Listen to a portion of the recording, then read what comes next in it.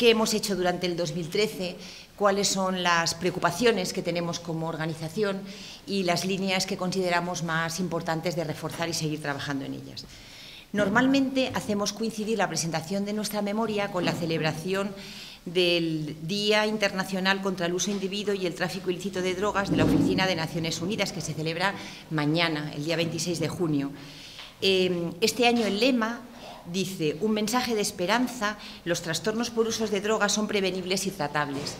Eh, nos, alegramos al oír un poco cuál era el lema de la, de la Organización Mundial de Naciones Unidas, porque eh, este, este, planteamiento de esperanza es el que está en la base de Proyecto Es decir, ante la pregunta que todavía se hace mucha gente de si, eh, pero esta gente se cura, pero este es un problema que se supera, pero los drogadictos realmente se rehabilitan, nuestra respuesta rotunda es sí, desde hace 20 años, y nos alegramos de que las Naciones Unidas también apoyen un poco este planteamiento. Es decir, la rehabilitación es posible y Fundación Aldaba em, eh, es un ejemplo vivo de que esto ha sido y sigue siendo así.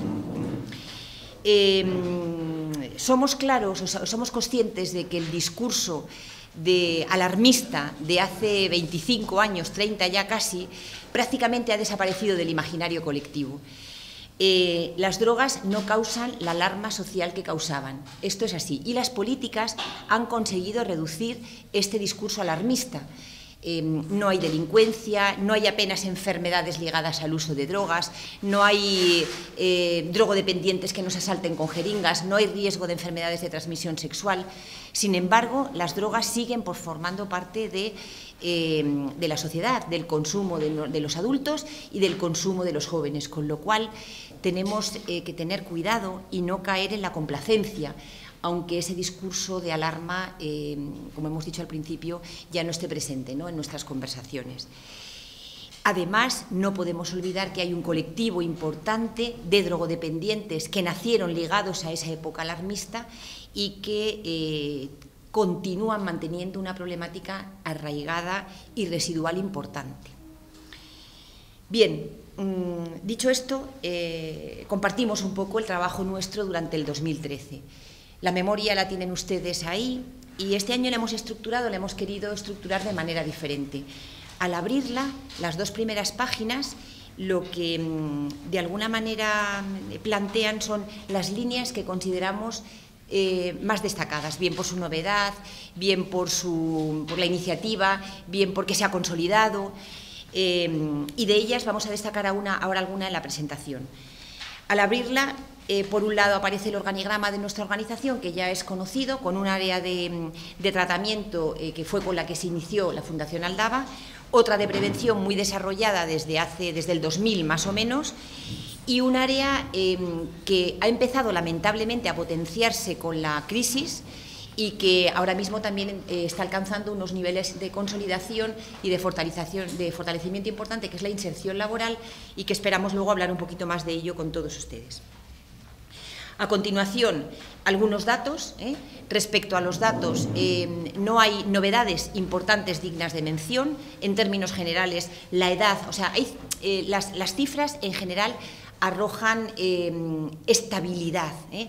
pero estabilidad, estabilidad y, no aumento de prevalencias, no aumento de números nuevos de casos de consumidores en la mayoría de las sustancias. Luego ya iremos al detalle en estas cuestiones. Pero em, la problemática de base sigue estando ahí y sí que ha aumentado el número de personas admitidas en nuestros tratamientos. ¿eh?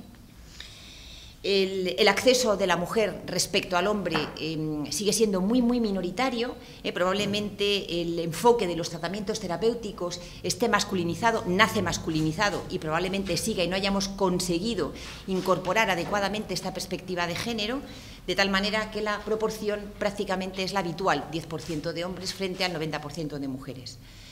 Nada que decir respecto a la edad, respecto a las sustancias, luego lo comentaremos un poquito, pero el perfil predominante es el de policonsumidor, es decir, cuando hay más de una droga em, que se consume de manera más o menos eh, proporcionalmente igual.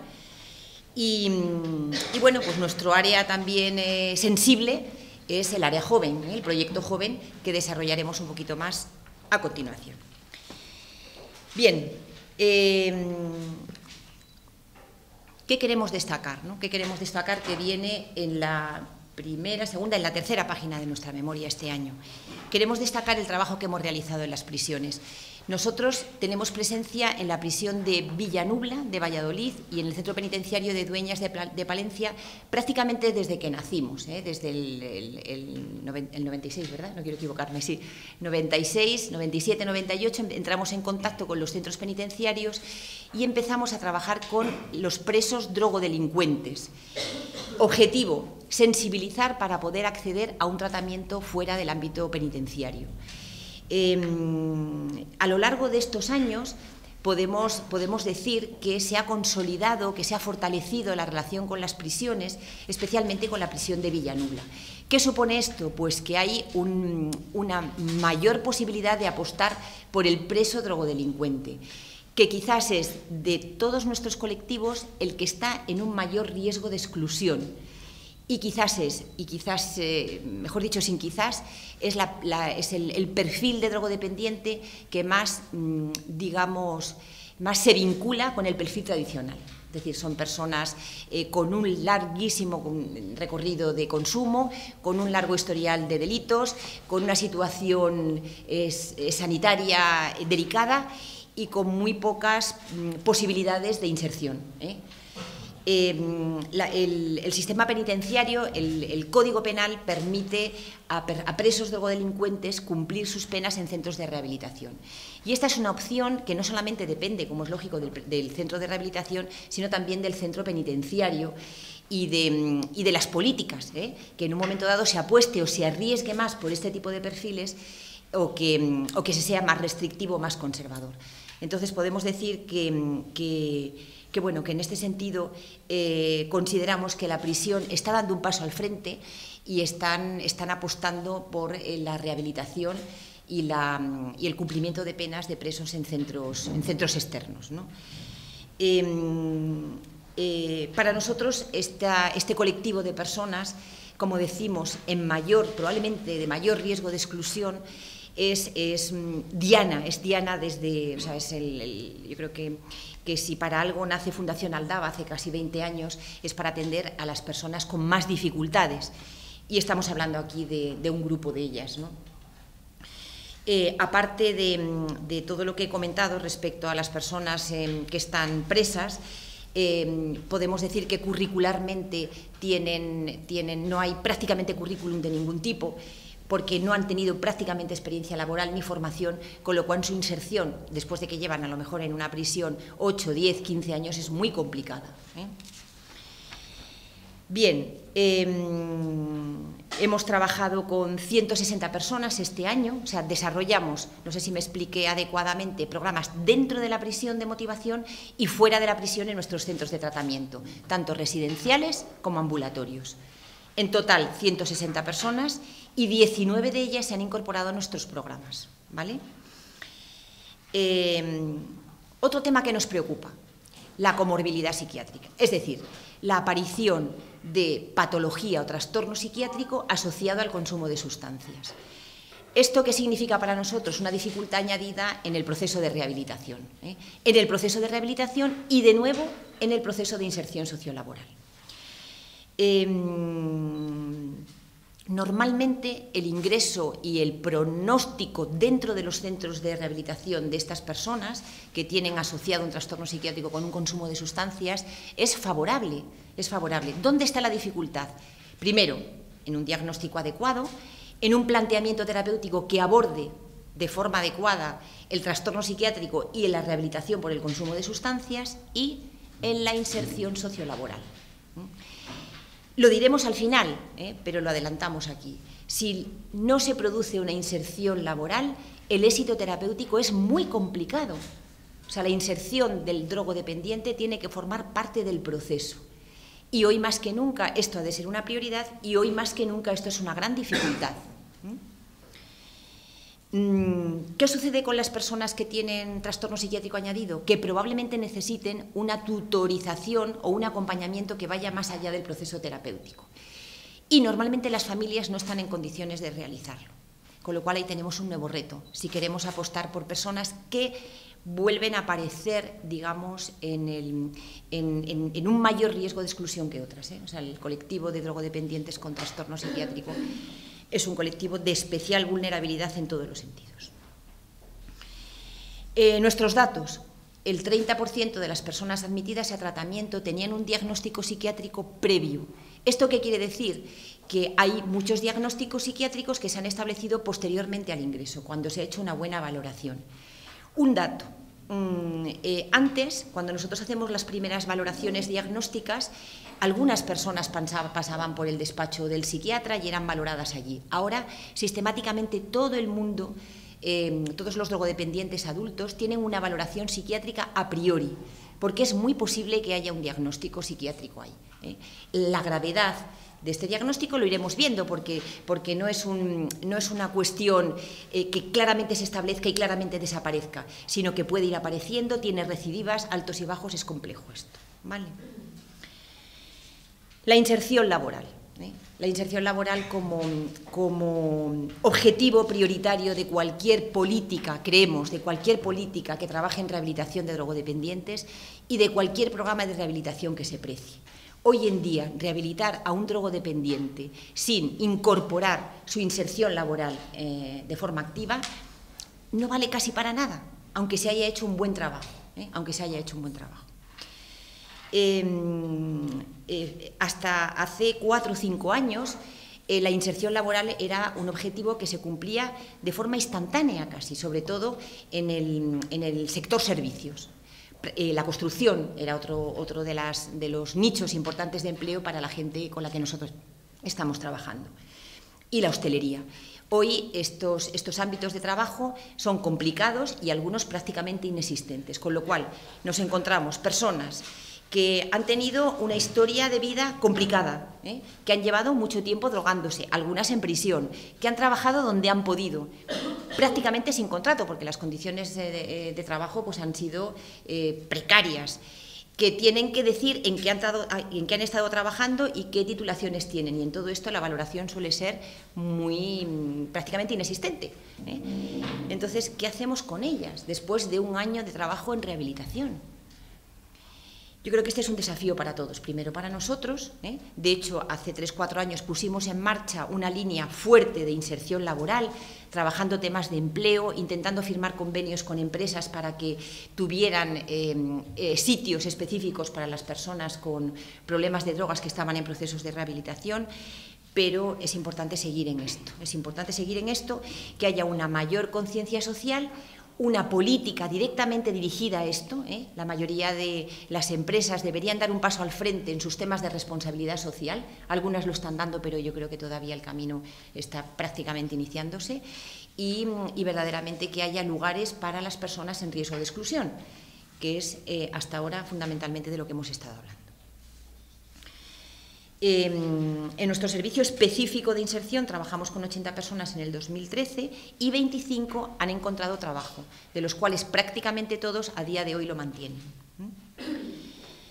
Em, y ahora vamos a hablar de jóvenes, ¿eh? vamos, a hablar de, vamos a cambiar un poco el tercio y vamos a hablar de jóvenes, vamos a hablar de alcohol y vamos a hablar de, lo, un poco de, la eh, escasa sensibilidad social que hay con respecto a este tema.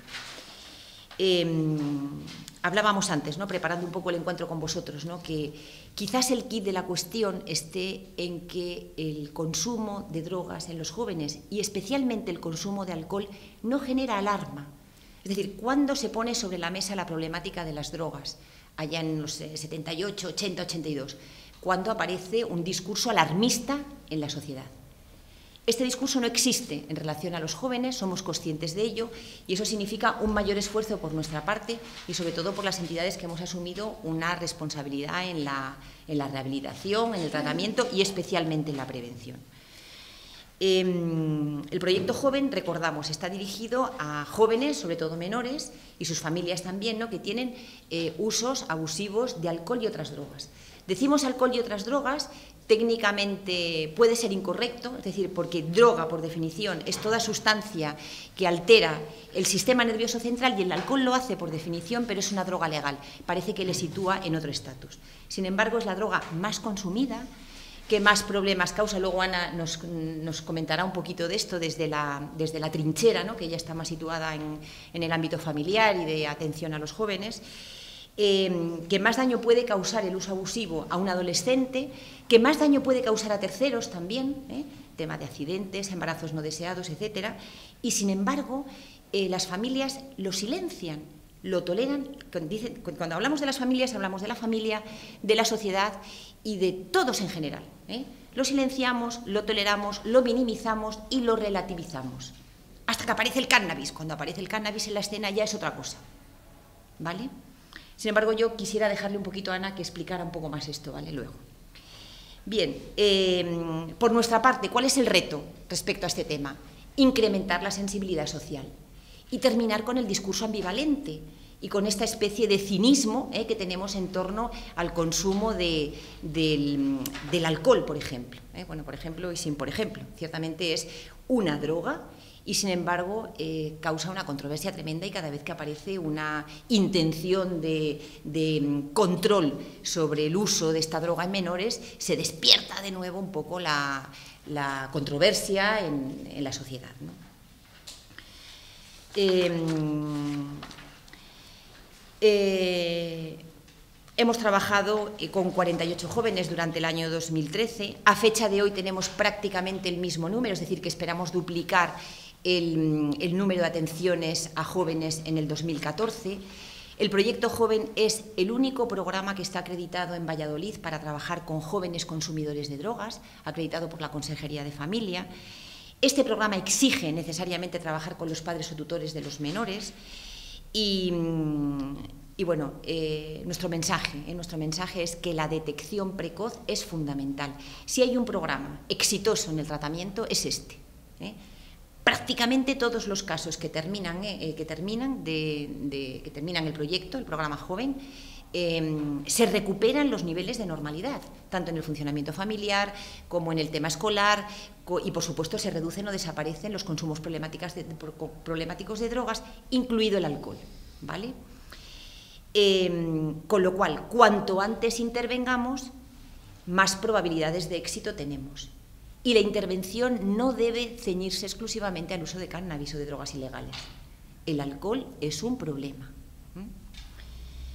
Bien, y, por último, prácticamente, ¿no? ¿qué destacaríamos de este año y que consideramos que es eh, una fortaleza ¿eh? para nuestra organización y para todas las que estamos implicadas un poco en el trabajo con drogodependientes, que es la coordinación?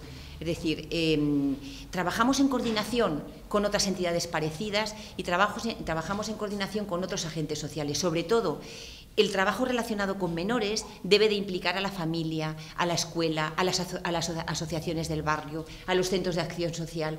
Ahora mismo, en otros programas eh, que estamos trabajando también con menores en riesgo de exclusión, tanto en el barrio de Arturiríes como con Barrio España, son trabajos en coordinación absoluto, con lo cual las probabilidades de éxito aumentan exponencialmente.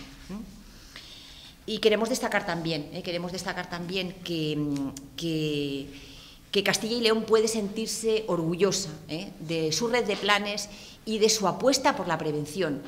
Acabamos de estar en una jornada en Madrid eh, hace muy poco y, y, se destacaba el trabajo de nuestra comunidad y de nuestra Junta de Castilla y León, nuestros planes autonómicos y también luego municipales y provinciales, ¿no? que de alguna manera se alimentan de los planteamientos autonómicos de la apuesta clara que hay por la prevención, pero una apuesta basada en la evidencia científica. Es decir, no se hace cualquier cosa ni se hace a cualquier precio. ¿eh?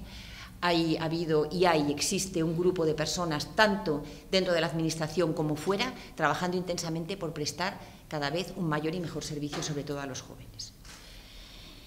Y para finalizar, pues para finalizar que mm, eh, prácticamente un poco recuperamos, ¿no? recuperamos eh, la necesidad de incrementar la sensibilidad social, sobre todo en lo que respecta al consumo de alcohol en los jóvenes, la protección del menor por encima de todo y también en lo que respecta al consumo de sustancias.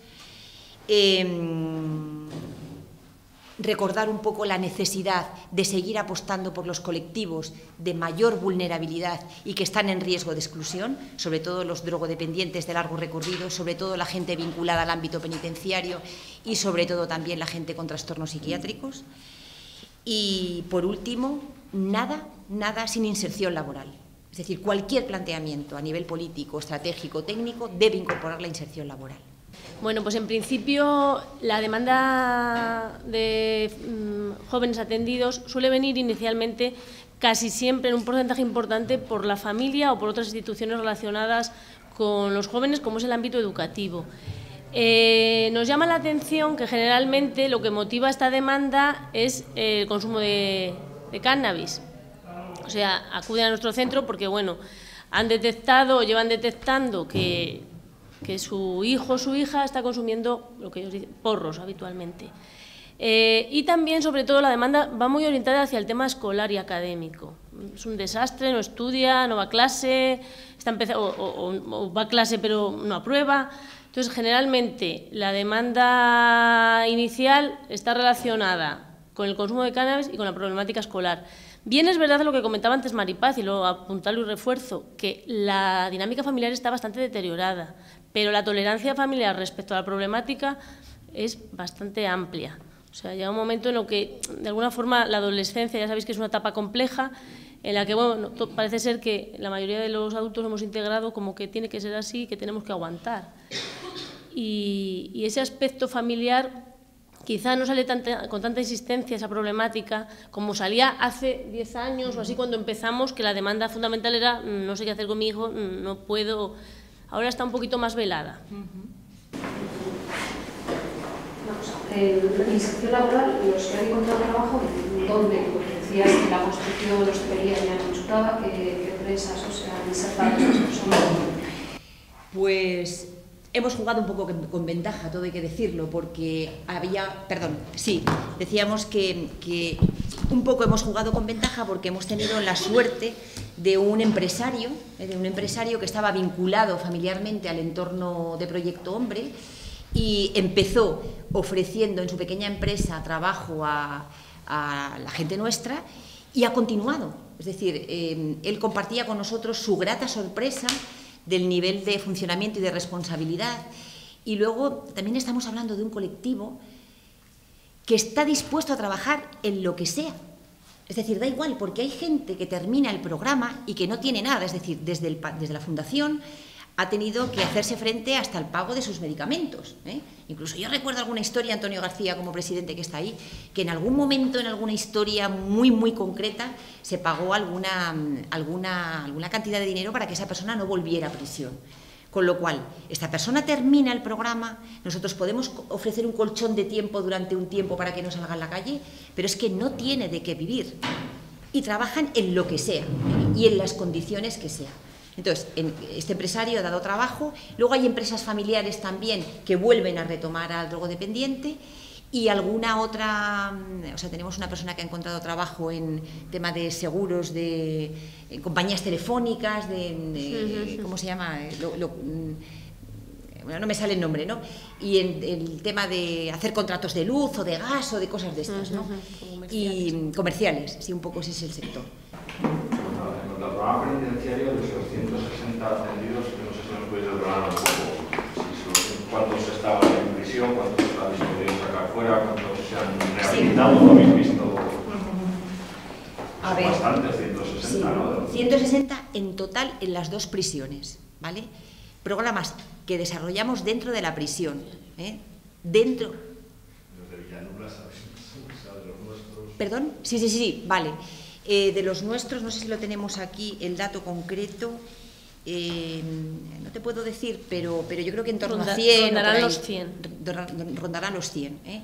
que es la prisión, yo creo que con la que más se ha fortalecido el vínculo, o quizás también ha sido un trabajo de muchos años.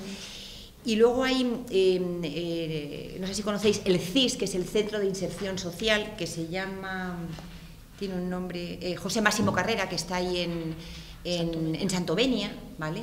Entonces, también estamos trabajando con la gente que sale de prisión al CIS, que es un órgano, digamos, intermedio entre la prisión ya y la situación de libertad absoluta, y también estamos apoyando un poco el proceso de, inserción laboral de las personas que están en el CIS. Entonces, a lo que nos preguntabas, tú concretamente, eh, las personas, lo teníamos por aquí, 19, ¿eh? parece un número pequeño, eh, pero cada persona, cada número en prisión casi lo podemos multiplicar por 10. ¿eh? Lo podemos multiplicar por 10. Mm, no sé si merece la pena ahondar un poco en las características de, estas personas, pero cierta manera, eh, de cierta forma, ¿no? su escenario vital hasta el momento que va a Proyecto Hombre es complejo, oscuro, difícil, eh, sin apenas apoyos eh, afectivos, ni familiares, ni sociales, ni estructurales. En, Proyecto Hombre llegan así y cuando terminan tienen un poco más de todo esto, pero solo un poco más. ¿vale? con lo cual la apuesta nuestra es aún más fuerte, debe de ser más fuerte y las posibilidades que les ofrezcamos para que puedan mantenerse abstinentes y vivir de una manera saludable han de ser mayores. ¿eh? Si somos capaces de adaptarnos a la persona, ¿eh? es decir, que, esta es una línea también que las políticas deberían incorporar. ¿no? Em, cuando se diseñen, tener en cuenta las personas, no las sustancias. ¿eh? Programa de alcohol, programa de cannabis, programa. No, no, no. ¿Qué personas tenemos? ¿Cuáles son las dificultades ahora? de las personas que consumen drogas. ¿no?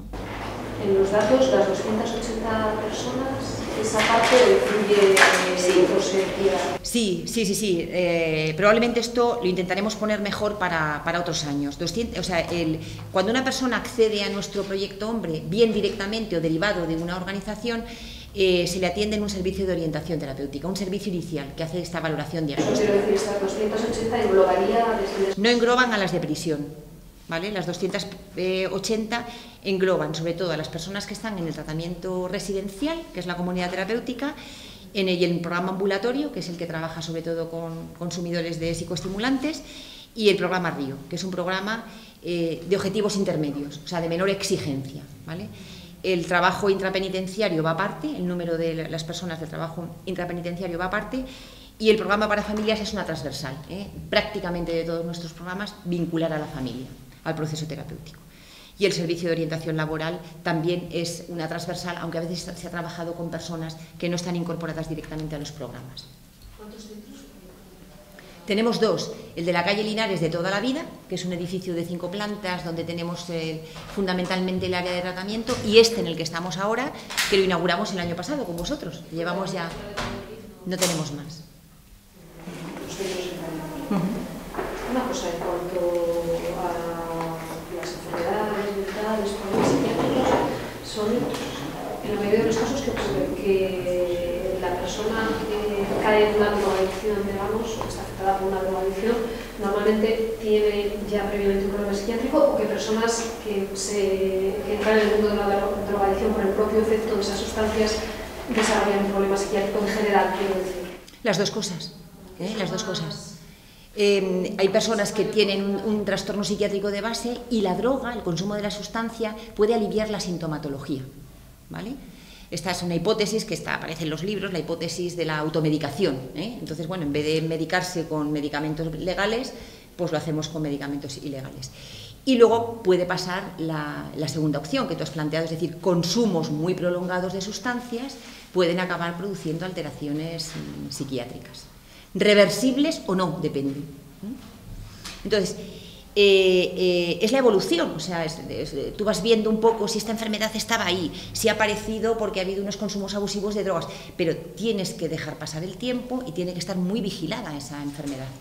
Y también ver cómo reaccionas, las medicaciones psiquiátricas son muy complejas de manejar, muy diferentes de unas personas a otras, tardan en hacer efecto. Y a todo esto estás introduciendo una desintoxicación de, drogas. A veces aparece la metadona también. Entonces es muy complicado a veces decidir si un cambio de comportamiento, de actitud es debido a la medicación, a que ha desaparecido la, droga de abuso, al, al, entorno, al entorno que también. Entonces, bueno, aunque somos conscientes de que el abordaje siempre tiene que ser biopsicosocial, incorporar un poco toda la perspectiva, esto es una complejidad añadida importante. ¿Y qué droga predomina?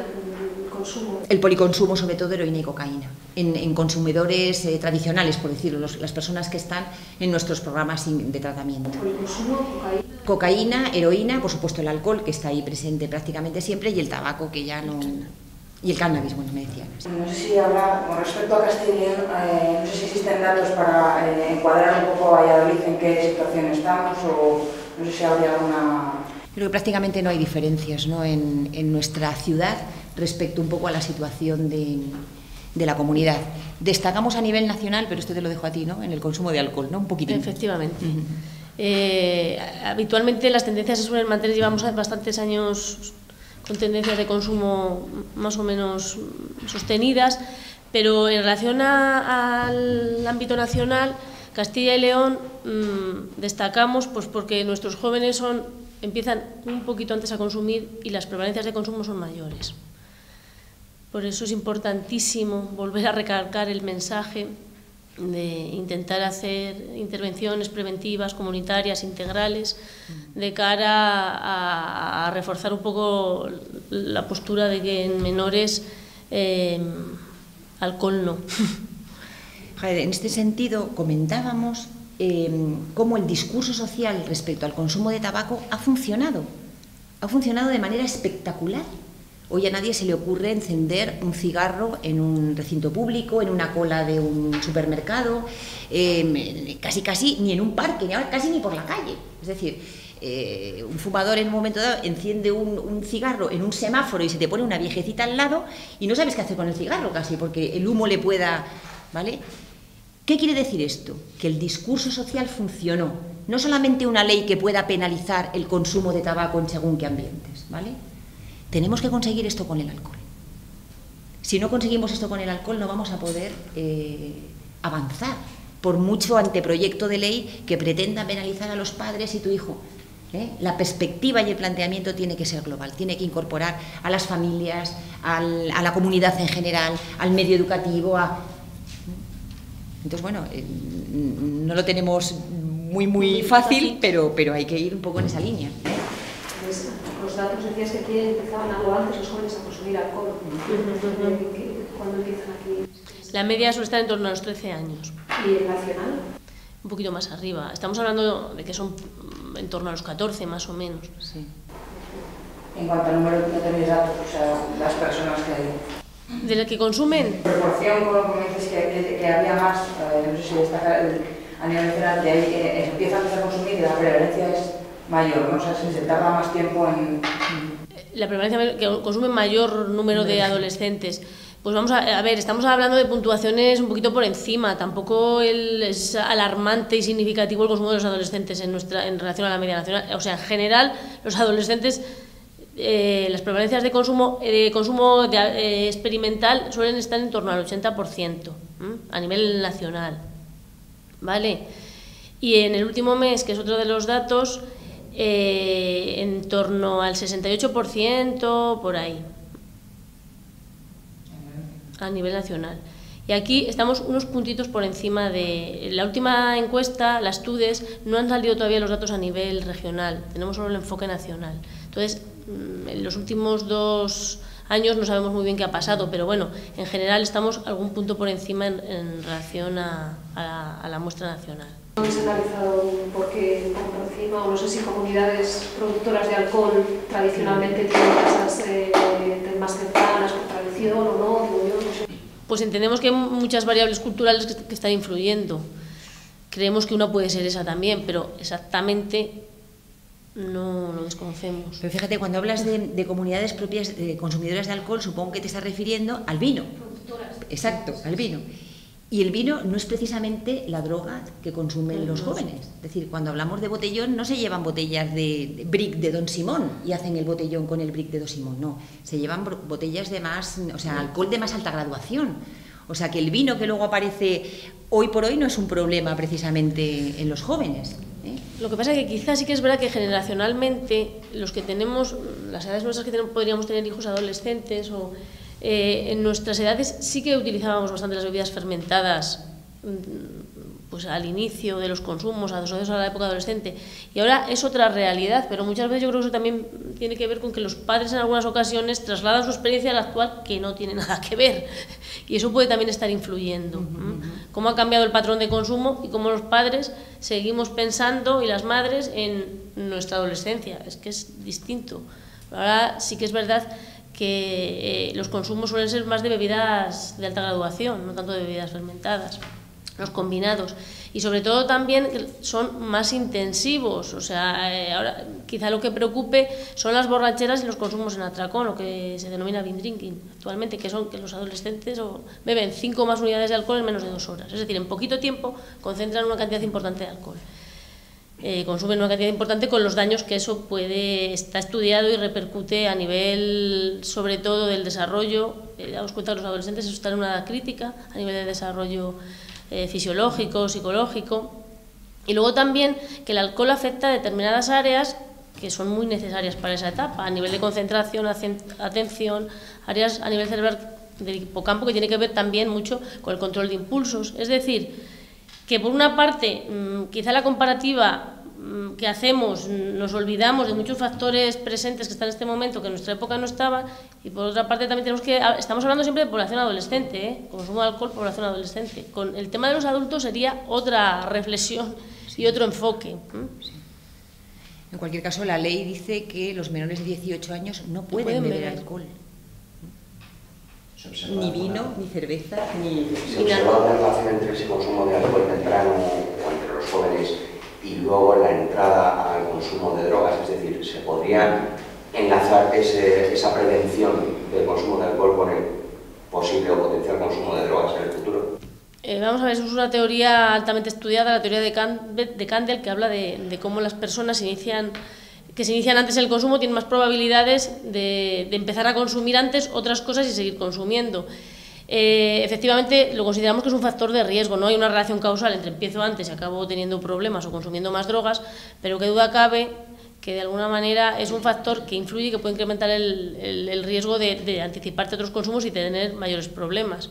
O sea, sí que nosotros en nuestros tratamientos con las familias y con los adolescentes intentamos que o, quizá el mensaje cortito, claro y sencillo es cuanto más tarde mejor.